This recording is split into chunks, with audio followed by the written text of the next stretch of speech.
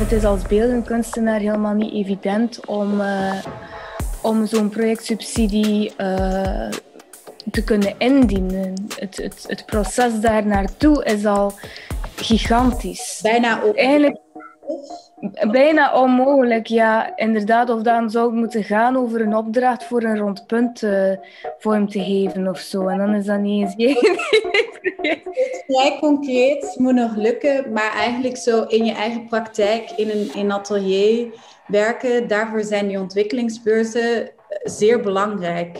Omdat je anders terechtkomt in heel veel bijjobjes hebben en heel weinig tijd om in je atelier te werken.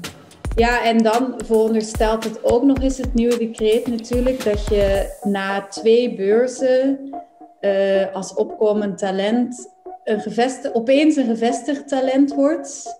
En uh, dan nog eens drie beurzen kan aanvragen als gevestigd talent. Sowieso, om een, om, een, om een beurs te kunnen aanvragen, is de eerste vraag: toon aan dat je professioneel uh, actief bent.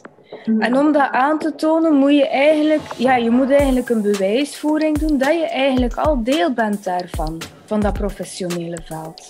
Ja. Dus wat betekent dan de, de, de, de scheiding tussen opkomend en gevestigd? Als je eigenlijk sowieso al moet aantonen dat je professioneel actief bent in de kunstensector. Dus eigenlijk moet je voor een op opkomende beurs aan te vragen al een gevestigd kunstenaar zijn.